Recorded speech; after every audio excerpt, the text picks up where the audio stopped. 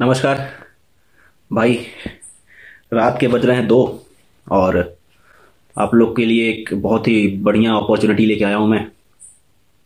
इसीलिए आपको इस समय बता रहा हूँ। हो सकता है ये वीडियो आपको सुबह मिलेगी। एक नोटिफिकेशन आया है ईपीएफओ का सोशल सिक्योरिटी असिस्टेंट के पोस्ट के लिए। पोस्ट की grade pay twenty four hundred यानी कि आपकी जो सैलरी होगी वो लगभग चालीस से पैंतालीस के बीच में होगी। लेवल फाइव का जॉब है वो, और ग्रेजुएशन उसका मिनिमम क्वालिफिकेशन है। अच्छे से डिस्कस करेंगे। पूरे वीडियो को अच्छे से देखना, उसमें सारा कुछ देख, देखने को मिलेगा आपको। आपको ये बता दूँ कि 2023 बहुत ही इंपॉर्टेंट है, अगर आपके अपने जीवन में एक नौकरी को इंक्लूड करना है तो। 2023 में बहुत सारी वैकेंसीज आएँगी। अभी आगे एमटीएस का आने वाला है जीडी कांस्टेबल का आने वाला है सी जी का आने वाला है। ऐसे छोटे छोटे भी बहुत सारे वैकेंसीज आएँगी जिससे आप एक नौकरी ले सकते हैं। जिसके लिए आप इतनी मेहनत कर रहे हैं, जिसके लिए आपका परिवार इतना मेहनत कर रहा है। तो मैं कुछ नहीं चाहता हूँ आपसे, बस आप पढ़ाई करिए। मैं आपको रास्ते बताता जाऊँगा कि आपको क्या करना है एक नौकरी को पाने के लिए, और जल्दी से एक नौकरी ले लीजिए। जैसा कि मैंने आपको बोला है कि मेरा एम यही है कि मुझे अपने ग्रुप में जितने बंदे हैं टेलीग्राम के, सबको नौकरी दिलानी है। दूसरी बात यह है कि बहुत लोगों ने मुझे मैसेज कर रहे हैं बैच के लिए, बैच के लिए इंटरव्यू के लिए, जो इंटेलिजेंस ब्यूरो के सिक्योरिटी सिस्टम का इंटरव्यू उसके बैच के लिए बहुत ज़्यादा मैसेज आ रहे हैं तो आप लोग मैसेज मत करिए। जैसे ही रिज़ल्ट आएगा, मैं एक बार फिर से बैच लॉन्च करूँगा, फिर आप वहाँ पर मुझसे जुड़ सकते हैं। और तीसरी बात यह कि लोग मुझे बहुत सारी गालियाँ भी दे रहे हैं कि आपने बोला था कि एग्ज़ाम बहुत ईजी आएगा और इतना टफ एग्ज़ाम आ गया इंटेलिजेंस ब्यूरो का। तो भाई, मेरे से पूछ के तो इंटेलिजेंस ब्यूरो ने पेपर बनाया नहीं है, कि मैं बताऊँ। आपको तो इस चीज़ के लिए तैयार रहना है ना। आपको तैयारी हमेशा वर्स्ट के लिए करनी है, ताकि अगर कुछ खराब हो तो आप उसको सर्वाइव कर सके सस्टेन कर सके वहाँ पे, ठीक है? चलिए, ज़्यादा भाषण नहीं दूँगा। स्टार्ट करते हैं। ईपीएफओ के सिक्योरिटी सोशल सिक्योरिटी असिस्टेंट के बारे में कंप्लीट जानकारी लेते हैं। स्टार्ट करते हैं। ईपीएफओ जो है, एक हमारा जो प्रोविडेंट फंड है, सरकारी एंटिटी है, और इसका एग्ज़ाम हुआ, होने वाला है सोशल सिक्योरिटी असिस्टेंट के लिए। जो एक लेवल फाइव का जॉब है twenty four hundred grade pay, जिसकी सैलरी आपकी एक एक्स सिटी में फोर्टी थ्री थाउज़ेंड के अराउंड आएगी।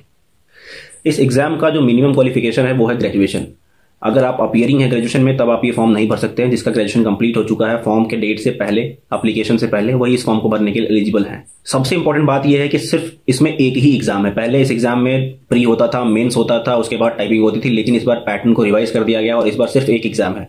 आप एक एग्ज़ाम देके, सिर्फ़ टीयर वन देके आप एक नौकरी ले सकते हैं, ये इतना अच्छा मौका है। इंटरव्यू नहीं है। एज भी ठीक है, अट्ठारह से लेकर सत्ताईस तक, साल तक के एज के लोग इसको भर सकते हैं।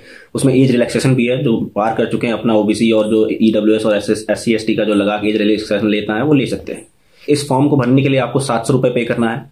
जनरल ओबीसी और ईडब्ल्यू e के लोगों को सात सौ रुपये पे करना है और जो भी पीडब्ल्यूडी और जितनी भी कैटेगरीज होती हैं इंक्लूडिंग फीमेल यानी कि लड़कियों को इसका ज़ीरो रुपये पे करना है। मतलब तेईस मार्च से ये फॉर्म भरा जाएगा, सत्ताईस अप्रैल तक, एक महीने तक ये फॉर्म भरेगा जाएगा। इसका मतलब ये है कि आपके पास बहुत ही अच्छा चांस है कि ये आपको एक महीना बोनस में मिल रहा है तैयारी करने के लिए।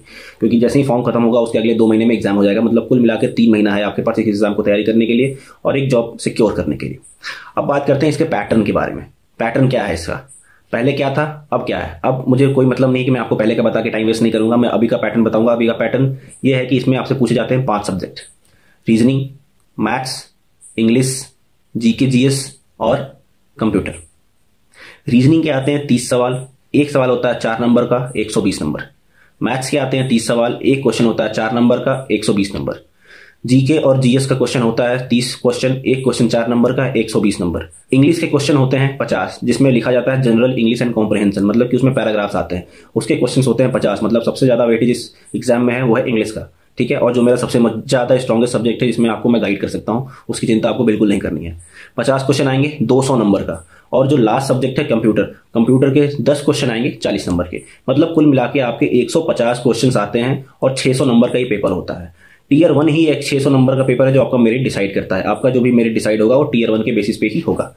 दूसरी चीज़, सबसे इंपॉर्टेंट चीज़ है कि इसमें सेक्शनल कट ऑफ़ भी होते हैं। मतलब कि आपको हर सब्जेक्ट को सेपरेटली पास करना है और एक टोटल कट ऑफ़ भी होगा। मतलब कि आपको हर सब्जेक्ट में अच्छा परफॉर्म करना है। तो ये बात आपको ध्यान रखनी है। ये था आपका एक एग्ज़ाम टीयर वन का, या टीयर वन आप कह लीजिए, या एक ही टीयर है इसका पैटर्न डेढ़ सौ सवाल 150 क्वेश्चन 600 मार्क्स डेढ़ सौ सवाल 600 नंबर का। इसी पे आपका मेरिट भी डिसाइड होगा। दूसरा इसका चरण है टीयर टू जो इसका है, वो है आपका स्किल टेस्ट स्किल टेस्ट में होती है आपकी टाइपिंग टाइपिंग क्या है? थर्टी फाइव वर्ड्स अगर आप इंग्लिश में टाइप करते हैं पर मिनट होनी चाहिए. थर्टी वर्ड्स पर मिनट अगर आप हिंदी में टाइप करते हैं तो ये होना चाहिए. और ये टोटली क्वालिफाइंग इन नेचर होता है. इसका कोई लेना देना नहीं है मेरिट से. मेरिट आपका सिर्फ़ टीयर वन पे बनेगा, जो कि 600 नंबर का पेपर होगा. ठीक है? बहुत ही अच्छा चांस है. 2800 लगभग वैकेंसी हैं 2800 वैकेंसीज हैं. तो आप इस फॉर्म को भरिए. अच्छे से तैयारी करेंगे, साथ में तैयारी करेंगे. अब जो मैं अगला वीडियो आपको ले आऊँगा, अगर आप मुझे इस वीडियो पे अच्छा रिस्पांस देंगे तो अगला वीडियो में ले आऊँगा कि आपको कौन सी बुक लिस्ट फॉलो करनी है और स्ट्रेटजी क्या रखनी है अगले तीन महीने तक इसको फॉलो करने के लिए, इस एग्ज़ाम को क्रैक करने के लिए और साथ में तैयारी करेंगे आपके, ठीक है? मेरे टेलीग्राम चैनल में जुड़ सकते हैं, जिसका नाम है सीजर अलगजीर बाई के के वहाँ पर आप मुझसे और भी डाउट पूछ सकते हैं। वीडियो को लाइक करिएगा शेयर करिएगा चैनल को सब्सक्राइब नहीं किया तो सब्सक्राइब कर लीजिएगा। अभी के लिए गुड नाइट जय हिंद।